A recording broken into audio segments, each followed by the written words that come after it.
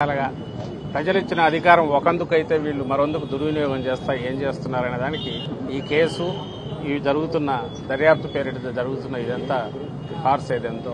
ఇదంతా ఒక పెద్ద ఉదాహరణ కింద సాక్ష్యం కింద నిలబడుతుంది. బట్ దీనివల్ల ఏం చేసుకోలేరు. ఇంకా పట్టుదల పెరుగుతుంది. వైఎస్ఆర్ కాంగ్రెస్ పార్టీ కార్యకర్తల్లో నాయకుల్లో. కళ్ళు మూసి తెచ్చేలోగా ఈ నాలుగేళ్ళు ఐదేళ్ళు అయిపోతాయి.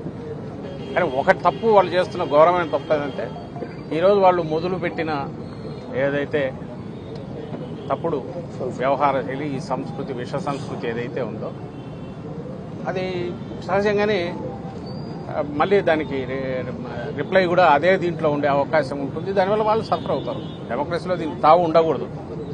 ప్రజలు ఎన్నుకుంది పాలించమని. పంతొమ్మిది ఇరవై నాలుగు మధ్య ఇట్లా అనుకుంటే అసలు అప్పుడు పంతొమ్మిది పూర్తి ఇరవై వచ్చే టైంకి చాలా వరకు కేసులు పెట్టి వేయది. జైలు జరగల.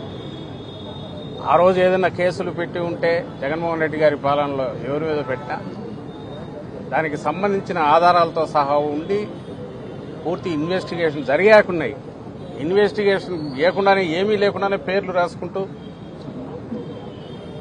పలా ఎవరో వాంగ్మూలం ఇచ్చారని ఆ వాంగ్మూలంలో వచ్చిందని ఎఫ్ఐఆర్లో పెట్టుకుంటూ పోయినవైతే అప్పట్లో జరగలేదు ఇప్పుడు ఆ కల్చర్కు కంటిన్యూస్ అదే జరుగుతుంది. ఈ దీన్ని ఇప్పటికైనా వాళ్ళు మానుకుంటే బెటర్ ప్రతిపక్షం లేకుండా చేయాలని చూస్తే అది ప్రమేయం అవుతుంది డెమోక్రసీలో అది గ్రహించాలని ఆయన చంద్రబాబు నాయుడు గారికి ఆయన వెనకంబడి వాళ్ళందరూ కూడా